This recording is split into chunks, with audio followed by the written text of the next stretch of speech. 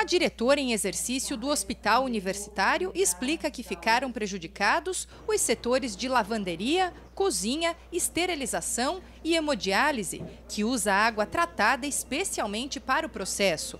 Seis cirurgias eletivas não puderam ser realizadas no período da manhã. As cirurgias emergenciais foram mantidas. A escassez começou a ser percebida ontem, mas o hospital se manteve racionando o uso d'água e graças ao reservatório que armazena 900 mil litros. Até o momento, a Casan enviou seis caminhões-pipa e deve continuar a completar o reservatório até que o fornecimento de água volte ao normal. Redução na utilização da água.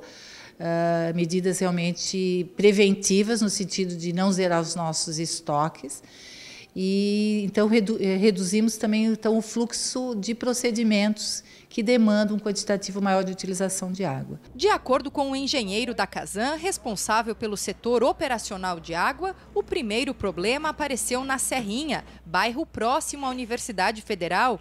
Uma boia impedia o fluxo da água.